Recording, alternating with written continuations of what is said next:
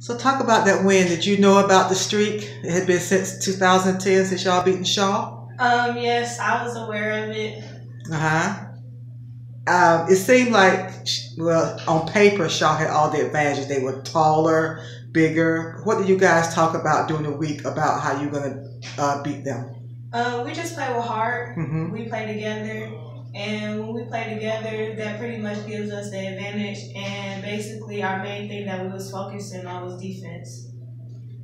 When you were down by 12 in the third period, did it? Did you get? Did you hang your head? Did you think it was over? What did you tell? What did the team tell themselves to get back in the game? No, we didn't hang our heads. We understand that basketball is all about runs, and we knew our run was coming. Our coaches had our backs. They told us to keep our head up, and we just let our defense dictate our offense.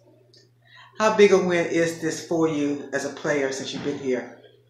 Um, it's very big. I'm not gonna lie, but we go out there and we try to play hard every game and win every game. But we are glad we won tonight.